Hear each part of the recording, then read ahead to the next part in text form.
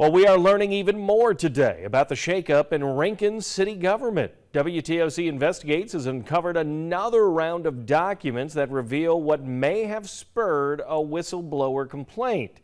WTOC investigative reporter Max Diekneite joins us now. And Max, what do these new documents tell us? Yeah, Mike, they reveal exactly what Rincon's now suspended city manager told law enforcement about that money that another city employee is accused of stealing.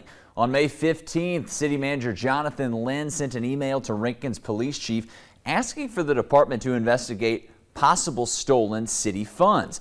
Lynn accused Parks and Rec Director Mike Osborne of charging a group $500 to rent a city-owned baseball field, but only depositing half of that money into the city's bank account. That same day, the chief told Lynn there was an active investigation. That case was later passed on to the Effingham County Sheriff's Office. They are the ones currently investigating. Now, we called and emailed Director Osborne, but we have not heard back. Mike?